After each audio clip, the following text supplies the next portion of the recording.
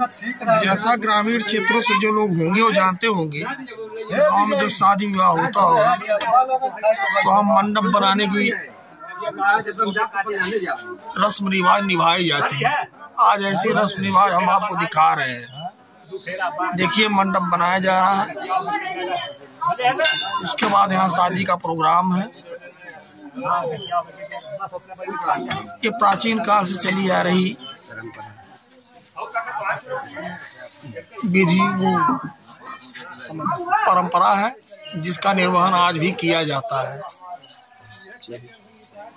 जिसमें नौ बाँस कहीं लगाए जाते हैं कहीं बाँस पाँच बाँस लगाए जाते हैं।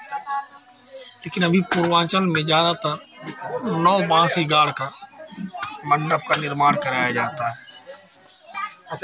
यहाँ फट्टे बिछाए गए हैं उसको बाँध कर मंडप का निर्माण किया जाएगा। बर पक्ष का जो होता है वो थोड़ा मज़बूत बनाया जाता है। मधु पक्ष का थोड़ा कमज़ोर क्योंकि इसमें फट्टों की संख्या जो है ये ज़्यादा होती है।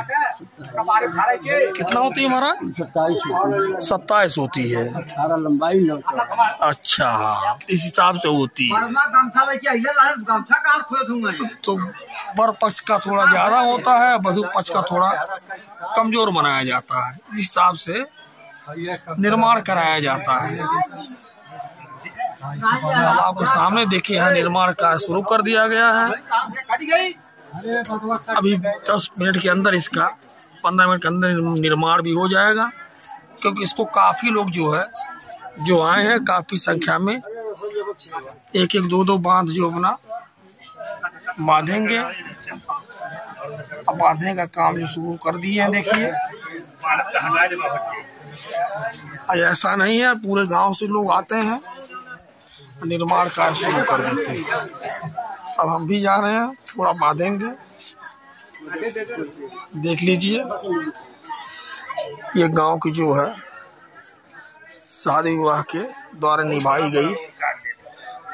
निभाई जाने वाली एक रस्म रिवाज है, जिसका प्रचलन आज भी होता है। चलिए, आपको आगे भी दिखाएँगे।